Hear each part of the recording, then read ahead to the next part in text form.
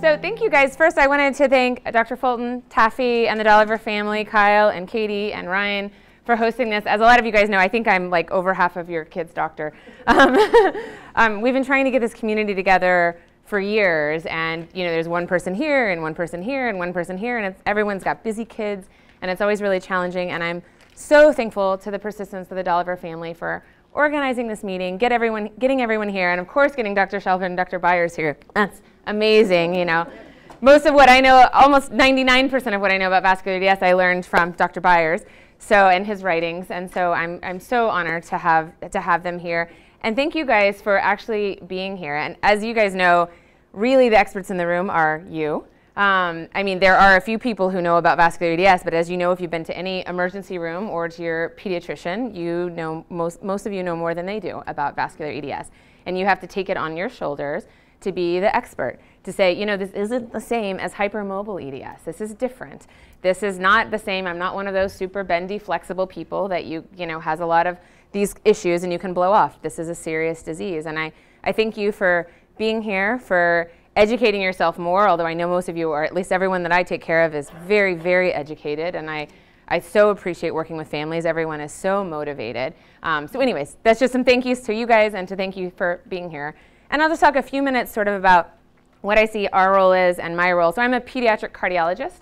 So um, I work at Texas Children's Hospital and I take care of kids I, I co-direct our cardiovascular genetics clinic, and so I take care of kids who have genetic disorders that cause heart disease. And the way I got into this is when I was in college, so many, many years ago, I wanted to be a geneticist, and I worked in a lab of uh, Dr. Uta Francke, who is a, a, geneticist who worked on Marfan syndrome. You guys have probably heard of Marfan syndrome. It's much more common. And I started doing work with her, and I really found it fascinating. And basically, through the course of, course of years, I started taking care of kids with Marfan syndrome, and then that turned into other vascular disorders. And now, um, now basically all I see at Texas Children's is kids with arterial and aortic problems, problems of the arteries, where we are worried they're going to have a bad event. And of course, that includes vascular EDS. And I think I follow, a, you know, not nearly as many as, as they do over the course of the years, but longitudinally, I follow 15 to 20 kids right now. And then as they go older, they go over to adult cardiologists. But more importantly than that, you know, I think one thing that I love serving the role is, is having a longitudinal doctor. I think there's lots of geneticists who will diagnose this condition, but then they don't follow you. There are some geneticists that do, which is wonderful. And like Dr. Shalhub, is a surgeon who follows kids longitudinally. That's very rare, follows people longitudinally. And I sort of take that on as my role as, yes, I'm a, a cardiologist, but I'm really ultimately turned into being a primary care doctor. You know, what, are, are you doing okay? Are we getting the right surveillance? What do you need? I think most of my families have my cell phone for when they're in the ER and someone says, I don't know what this is. Uh, the family tells me they need a CAT scan. Is that real? You know. um, and so, and I really take that job seriously. Um, and I think that's how how kids and adults with vascular EDS are going to be better if you're knowledgeable, you know what to do, you know how to prevent outcomes, at least for what we know now. The other way, other than seeing myself, and I think everyone needs this person, whether it's a pediatrician or a surgeon or a geneticist, other than having a longitudinal doctor, is advocating for change. So we know only how to diagnose vascular EDS right now. Okay, we know very little about risk stratification. We know a little bit by genetics, but it's not enough for someone like me to look at you and say, oh, you're going to be bad, you're going to be good, I'm going to change my management. I don't think we're there yet. And my goal, and I hope your goal too, but this is 75% of, mine of my time technically is on research. That doesn't really happen, but I try, um, is to first is to, to improve lives of kids with aortic and arterial disease. And there's sort of three steps on that. First, we need to learn how to risk stratify. Who's more mild, who's more severe? Who can we not have to see every year? Who can we not have to freak the families out so much? And who's more severe? And we need to be a lot more aggressive. So first, risk stratification. This is personalized medicine, right? The next is, okay, if we have high-risk patients, how do we take better care of them? What do we do that's correct? And if we have low-risk patients, how do we not have them pay so much in medical cost? How do we have them not have to come so much? How do we not have to have them so paranoid that the family has crazy anxiety that every time they fall down, we all have to panic? You know, how, do we, how can we reassure families? And the third is preventing. Like, how do we actually modify these, these patients that are severe? How do we make them more mild? And I think it's going to take us many years to get there, and I'm still working on that risk stratification. How can I look at a three-year-old and say, oh, I can see every five years, or oh, I need to see in six months? Do we need to image you? Do, how often do we need MRIs or CTs? Do, you know, do, are the meds helping or not? you know, can we, is there something as we're giving you meds, we know that kids have very few uh, events. Some kids do have events, but it's much less common than adults. But is there a way we can, other than saying, you didn't have an event this year, I guess you're good, is there a way of monitoring in between? Like some of the research work we're doing is looking at the arterial walls. Like has, is it become less stiff? Is it more stiff? Is it more elastic? Is it more strong? Does the MRI look like the recoil is better? Can we use some of those proxy measures to say, oh, the medicines are working, or age is working. I mean, age is making you better, or age is making you worse. And I think, unfortunately, we're so in the infancy of this condition. It's great that we know what it is. It's great that everyone's been diagnosed. But how do we really change outcomes? And that's sort of the whole goal of like what I do, period. And I think that that it helps by seeing families like you that are so motivated and so eager and so uh, willing to contribute information to help us to help us learn. So I look forward to meeting those of you I don't know today and, um, and spending more time with those of you that I, that I do. Thanks, guys, and, and happy to take any questions. So.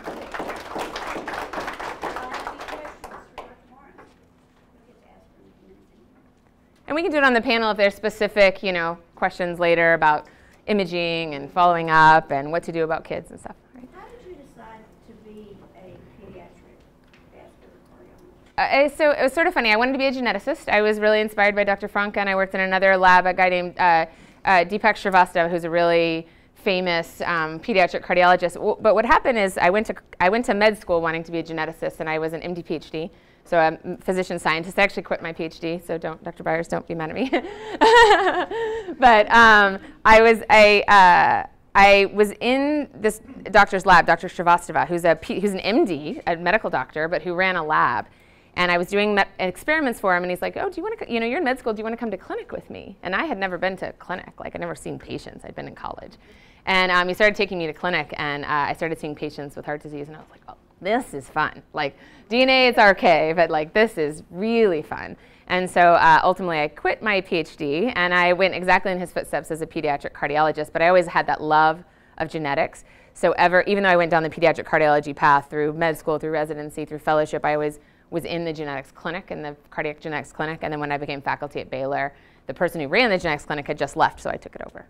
So, and, and specifically arteriopathy. All the other genetic diseases, we sort of dispersed out to other groups, and I took over the vascular disorders. So. You're at Baylor?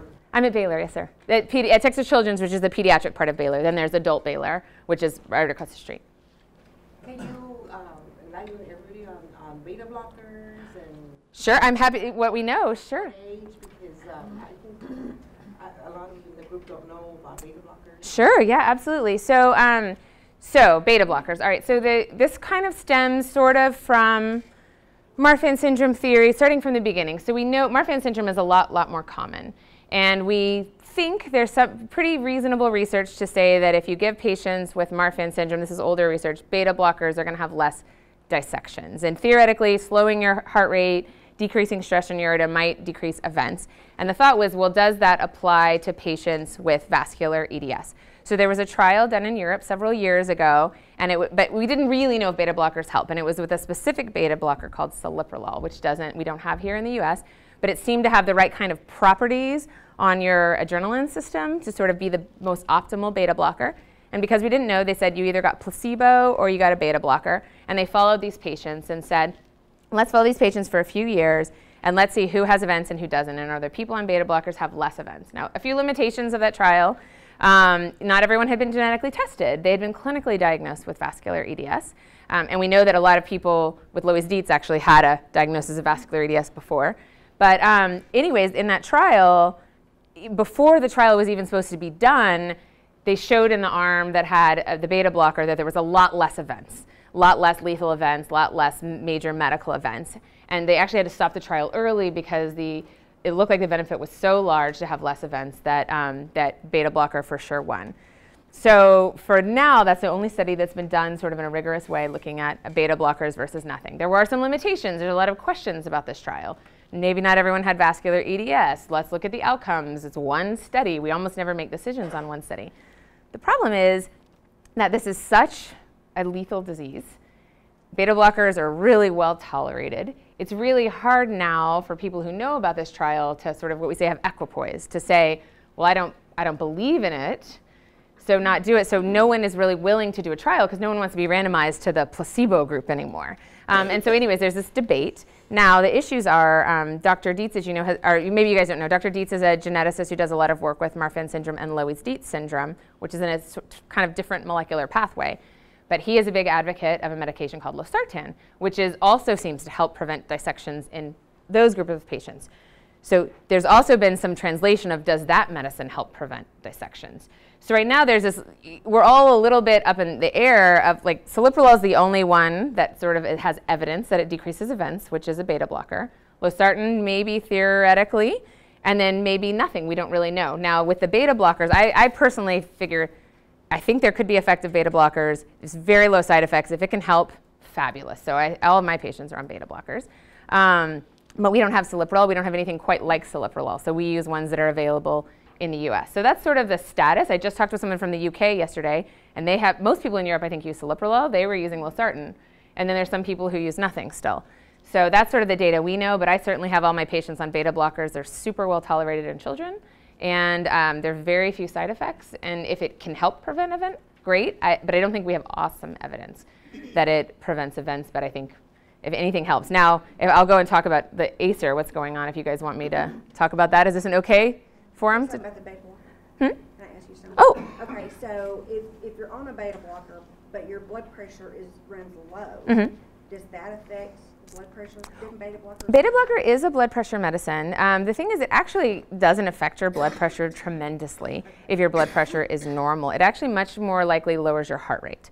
So our goal when we're on beta blockers is to reduce your heart rate by about 20 points. Like I'd like to, I like to say teenagers and adults with heart rates in the 60s, and younger kids 70s, or really young kids 80s, 90s. Um, and you, most people tolerate it fine. I mean, if your blood pressure is super, super low, you may not tolerate it. But more often, people who have a low heart rate don't tolerate it. I mean, someone, if someone comes in and they're in the 50s, like they're an athlete, I probably won't put them on a beta blocker. But, um, but it doesn't, it, losartan definitely lowers your blood pressure. So, but it has less effects on your blood pressure. Did, I was going to comment a little bit. Is this an okay time to talk about the Acer thing? Um, so there is a company called Acer that's trying to get celiprolol to the U.S. They're an, they're a um, and they're not a venture capitalist, but they're trying to basically make it an orphan drug to be available in the U.S. To, for patients with vascular EDS, which would be great. And I think they're making good progress. There is a little, so again, we don't know if this is the, a great drug, but it'd be great to have it and even do a trial with celiprolol head to head with another beta blocker. Um, there is an issue because vascular EDS is so rare and it's such a small community that um, the, my understanding is the business model right now is to charge quite a bit for the medicine. And so we have to see how that um, pans out. And maybe the Dolliver, they actually met with Acer and can comment on that for their, how that's going to work. But we're waiting to see how that, how that plays out. We, we actually have an ACER representative in the audience. Oh, great, wonderful. What is, what is Acer? Is it a beta blocker too? oh, no, sorry, I'm sorry. Acer is a company that um, is trying to bring celiprolol to the US. Okay, is So that- Is that a beta blocker too? it, no, celiprolol is the beta blocker that was used in the trial. And so what they're doing is trying to get. How Be- it differentiate from the beta blockers that you're using? That we're using now? Well, it's a specific alpha agonist and, and beta anti, or sorry, beta alpha antagonist and beta agonist, but it has specific effects that seem a little better on the peripheral vascular system than other beta blockers. Theoretically, that's why they chose it. So, um, It's more, more specific. more specific uh, theoretically. When it was chosen, it was said, well, we think this might have the best effects. So, um, and they're trying. really done any testing on it. Just- Well, they did this trial, but it was it was celiprolol versus nothing. So we don't know. We have it's never been run head to head with other beta blockers. Never been run head to head with a losartan.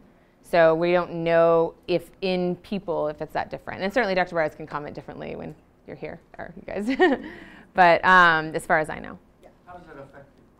How does celiprolol affect people? I haven't taken care of anyone on celiprolol, so my understandings though are that it's pretty similar to other beta blockers. That it primarily, you know, the effects you see in people are lowering the heart rate. So. But you also said something to the effect that it also affects their, um, their, um, what do you call it? What you call it? Where your, um, your, your energy level, uh, I call it, um, it's not the energy. Huh? The heart rate? Well, not just as the, the heart rate, but your uh, metabolism and Yeah. stuff like that. I mean- How does that affect that? How does it aff- Because I'm looking at, when, because when you take certain things, Yep. they slow you down. When they slow you down, it slows your, it slows everything down. I mean, Right. it doesn't just slow one thing down. because everything has a counter effect across Right, the body. right. That's true. I mean, most people, like I, I probably care for 150 kids on beta blockers for VDS and a lot of other reasons. I mean, most, at least children, people up, I have kids up to 22, tolerate it really, really well. The heart rate is definitely slower, and often the first few days you, you feel that. People can tell their heartbeat is beating slower and stronger. But in general, they are active, they're playful, they do well in school. You know, I have maybe 5% that come and say, oh, I just didn't really like it. I did it for two or three weeks and it didn't feel right. And then we take them off or we lower the dose. But in general, you know, we don't have people coming in and say, oh, I'm super constipated. I mean, there's a very small percentage that get low blood sugar. I've never had that happen in my clinic. It's usually itty bitty babies. Um, but it's pretty well tolerated overall. Other? questions? Hey. How many patients do you see for children with the vasculitis? Like I said, it's between 15 and 20 right now. Yeah. That number's kind of changed since we first. Yeah, it used to- were of patients yeah. the first time. Yeah, you. s- Of, of your patients, you were talking about events. Uh huh. You know about our event. Yes. How many of your patients have had events? Just two that have had events at a very young age, you guys, and then one other who is a patient I care for that is not here, is in Florida, who had a dissection, who had a vertebral artery dissection and a stroke. Actually, I have another patient in Utah um, with a vertebral, but they were, they're, how old are they? They're a teenager. And then, can I mention what happened? Or I won't. Okay, Um, never mind. You're, yeah, you can. Oh, you can talk. I'll let you guys decide if you want to share that or not. It, it's okay. Like, you know, we're private people. Yes, so I, I won't mention it, but yes. Okay, you're okay. We're here with, I think, family, right? Um, yeah, it's okay. Are you, are you sure? Yeah, I was just curious because we've been, yeah. Go ahead. It's a, I- will let you decide during the conference. Okay.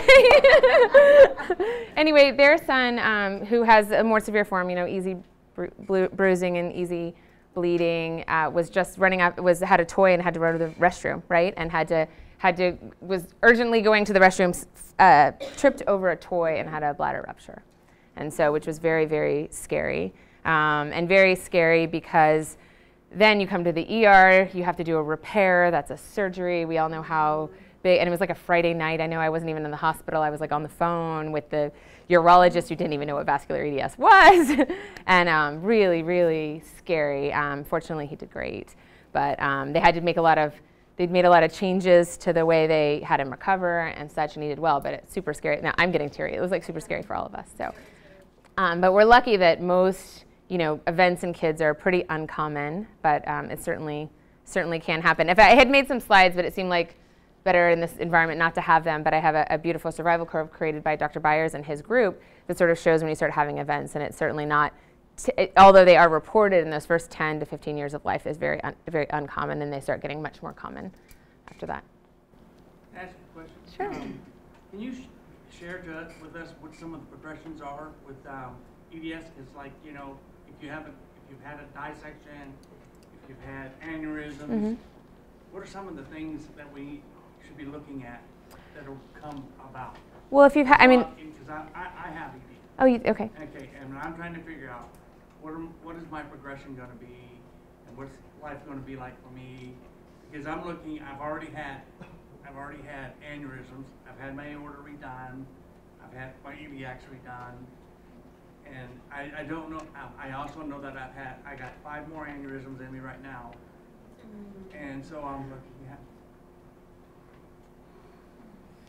Sorry. I'm trying to figure. I'm trying to figure out what's next.